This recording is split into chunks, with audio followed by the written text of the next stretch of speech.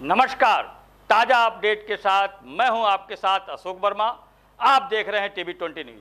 अपने अपने क्षेत्र की खबरें देखने के लिए बने रहिए मेरे साथ। अब शुरुआत करते हैं खबरों का सिलसिला।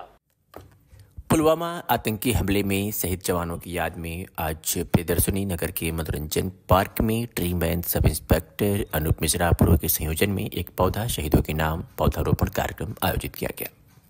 इस अवसर पर अमर शहीद अजीत कुमार याज आज़ाद की पत्नी वीर नारी मीना गौतम और उनकी बेटियों के साथ उप निरीक्षक अनूप मिश्रा अपूर्व ने बोधि वृक्ष पीपल लगाकर जवानों को सलाम किया। इसके बाद लोकनगर मोहल्ले में चौरा पुल के पास बनी शहीद अजीत कुमार आज़ाद स्मारक स्थल पर आयोजित कार्यक्रम में शामिल होकर उप निरीक्षक अरूप मिश्रा अपूर्व ने पुलवामा शहीद अजीत कुमार आज़ाद की माता, पिता, पत्नी, मीना गौतम एवं अन्य पारिवारिक सदस्यों के साथ पौधारोपण करके श्रद्धांजलि दी।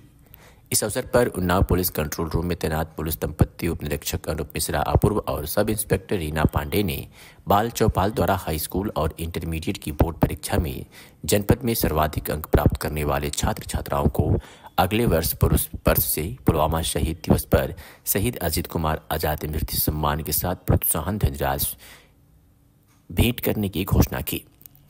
कार्यक्रम का संचालन रंजीत गौतम ने किया।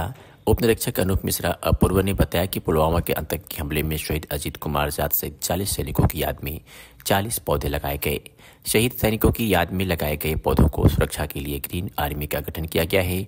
अनूप मिश्रा का कहना है कि सैनिक सरहद पर अपने जान की बाजी लगाकर हमारी रक्षा करते हैं और देश की आन बान शान के लिए अपने प्राणों की आहुति तक दे देते हैं। हमारा भी कर्तव्य है कि हम भी उनके लिए कुछ न कुछ करें। यही वजह है कि हम शहीद जवानों के नाम पर पौधे लगा रहे हैं। अनूप मिश्रा अपूर्व ने जनपद वासियों से अपील की कि सभी लोग शहीद जवानों के नाम एक पौधा लगाकर उसकी रक्षा करें।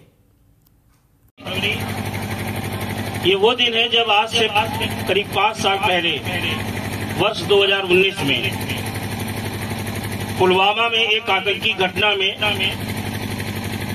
हमारे आज से पुलवामा अटैक को पाँच साल हो गया है, आज ही के दिन, और चालीस जवान शहीद हुए थे। और हम, हमें गर्व है अपने पति पे और सभी जवानों पे। और दुख भी है, क्योंकि हम लोग बहुत संघर्ष करना पड़ता है। हम जैसी महिलाओं को बहुत दिक्कतें झेलनी पड़ती हैं। यही कहेंगे ना, सबको, सभी के लिए ना देशभक्ति होनी चाहिए, प्रेम होना चाहिए, और शहीदों का सम्मान होना चाहिए, सपोर्ट करना चाहिए सभी को।